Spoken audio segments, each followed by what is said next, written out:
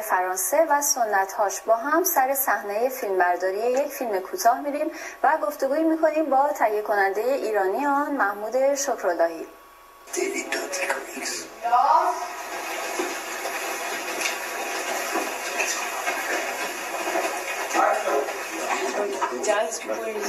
Les gens qui ont besoin de sortir.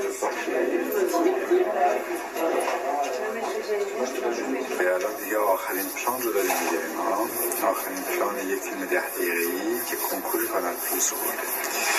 که تمش هست.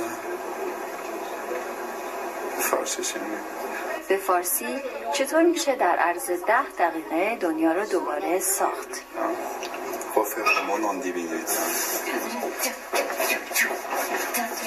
این فیلم کوتاه ده دقیقه ای داستان آشنایی یک زن و مرد سالمنده که عشق را در پیری دوباره با هم کشف می‌کنند.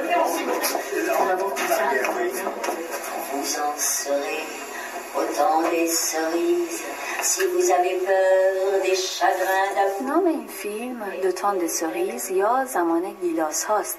که یک ترانه قدیمی انقلابی فرانسوی است که با مرور زمان به یک ترانه عاشقانه تبدیل شده و نمایانگر دو کاراکتر فیلم یکی انقلابی و دیگری نرم و عاشق.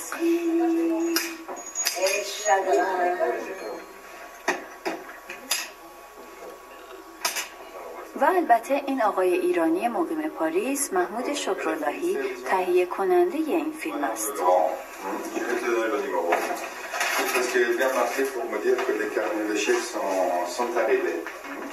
اگر به صلاح آدمی مثل من تصمیم می‌گیره همچین فیلمی رو انجام بده به خاطر اینکه این در یک کنتکس خیلی خاصی انجام میشه. اصلا مسئله مالی قضیه مطرح نیست.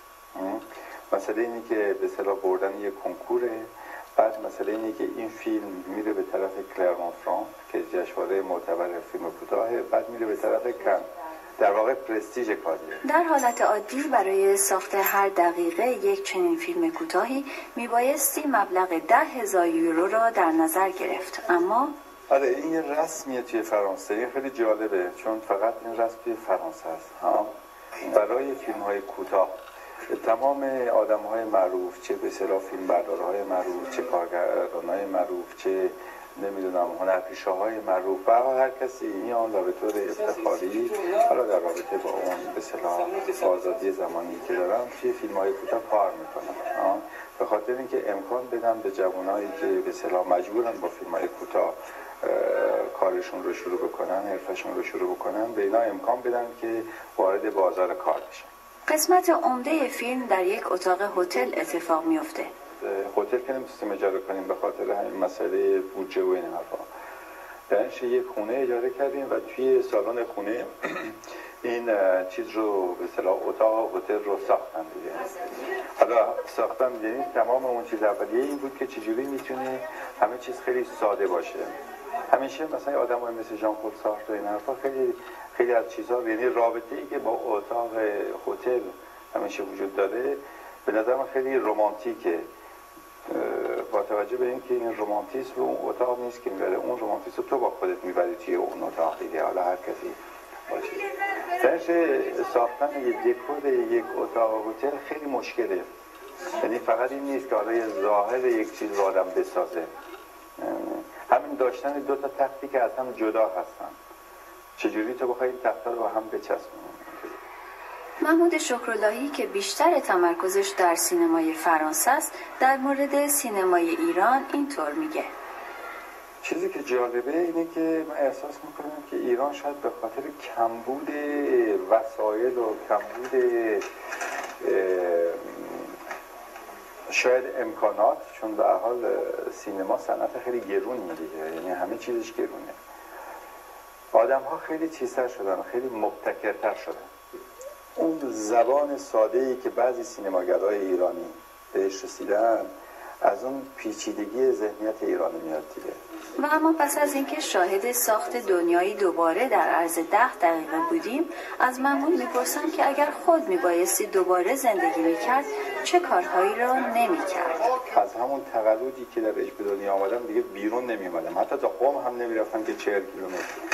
چون احساس می‌کنم که زمان انقدر کوتاه عمر انقدر کوتاه برای اینکه تو تازه همون محیط کوچیک اطراف تو بفهمی که موقعی که شروع می‌کنی همینطوری خودت رو پخش پلا کردن سفر کردن این برنامه رفتن آخرش تبدیل میشی به یک اقیانوسی با عمق یک سانتی یعنی به همه چیز دست دادی بدون که هیچی بفهمی.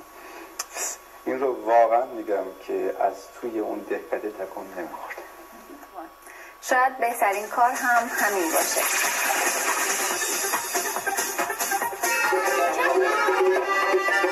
در جایی که کودکان این سن و سال با عروسک های خود بازی می کنند این بچه ها در ایران برای زنده ماندن تلاش می کنند دیدن این صحنه ها باور کردنی نیست. اما گروه از ایرانیان ساکن سندیگو از نزدیک شاهد چنین مناظری بودند اینها واقعا کودکان خیابانی نیستن بلکه کودکانی هستند که کار می‌کنن به خاطر گذران عمرات زندگی این فیلم را که مجموعه ای از گزارش های کوتاه درباره نحوه زندگی کودکان ایرانی هست به صدها نفر در بنیادهای مختلف که برای بهتر زیستن کودکان تلاش می کنند نشان دادهاند. 25 هزار کودک خیابانی هست. از این 25 هزار در حدود 1100 نفر زیر پوشش هم. یک قطره در دریا ما امیدواریم که این جوی را اگر بتونیم.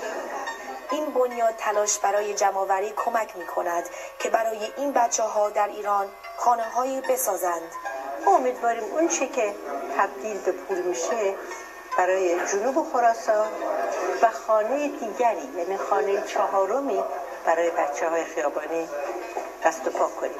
خانم ژیلا کاشف که یکی از بنیانگذاران این برنامه می باشد می گوید که ما وقتی برای ثبت کردن نداریم و هرچی از دستمان برایت انجام خواهیم داد.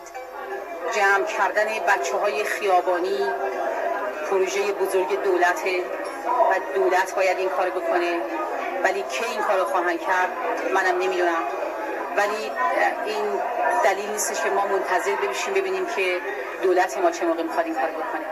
با همین کمک هاست که امیدی دوباره برای بچه های ایران وجود دارد که از دوران بچگی خود لذت بیشتری ببرند. و برایشون غیر قابل باوره که واقعا چطوری بچه ها توی خیابون ها به خاطر یک لقمه نان مجبورن کار بکنن و مدرسه رو دل بکنن ما سعی داریم می‌کنیم که به تعداد بسیار محدودی واقعا بسیار محدودن این کمک رو بدیم و شاید این بشه یک نمونه برای دیگران که بخوان این راه ادامه بدن. این بنیاد عهد کرده است که همون کار را خواهد کرد.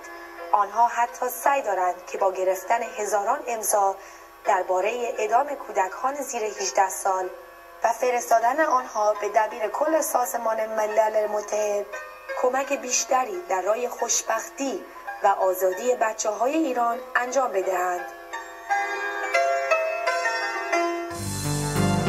به نام خداوند جان و